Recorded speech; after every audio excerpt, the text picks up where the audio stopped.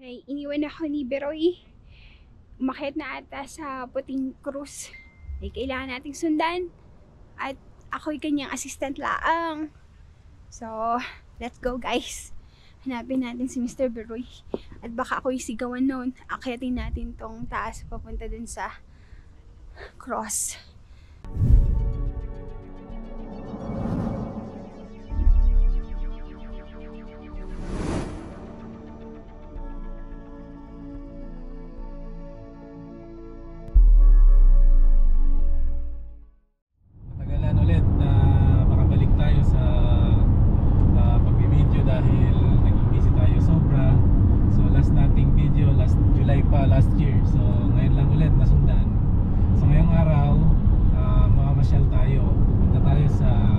East County ng San Diego.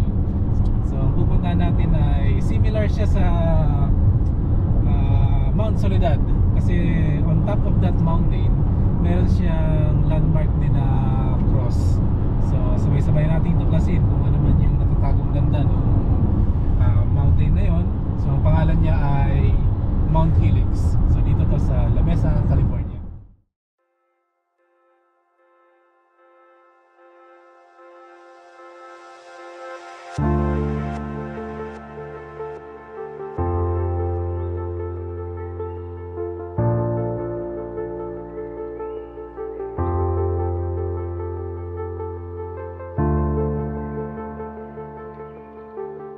Malapit-lapit na tayo guys.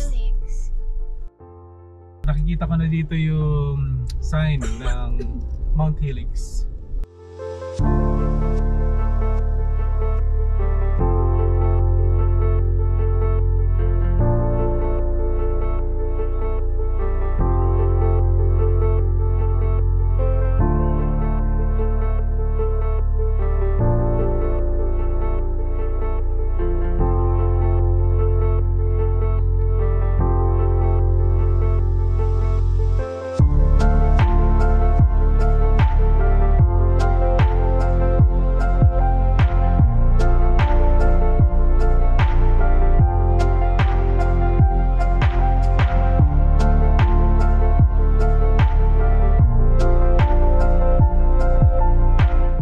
So ayan guys, andito na tayo, kakarating lang.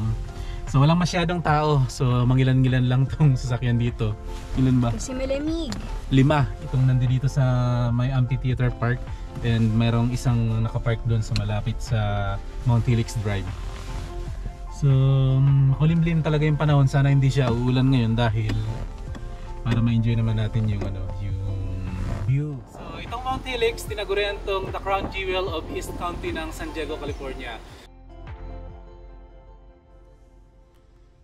Isa itong historic amphitheater at nature preserve located at La Mesa, California na itinayo noong 1925. Ang park ay mayroong dalawang parking area na nasa intersection ng Mount Helix Drive at Bibera Drive at itong nasa upper part malapit sa amphitheater. The nature preserve hosts many events and programs for weddings, memorials, or non-profit organizations. Ayan yung trail pababa. Kailangan stay on trail ka lang para hindi ka maligaw. Or maka sagupa ng mga wild animals. Scary. Ayan. Hike or take a walk around the Yoki Trail. Jog or ride your bike. The trail is a quarter mile long and forms a semicircle around the park. It was named after Mary Yoki na madalas bumisita sa tuktok ng bundok matagal ng panahon bago pa man ito binuksan sa publiko. Tingnan naman guys kung gaano kaganda ang view. Dito, mula dito sa tuktok ng Mount Helix.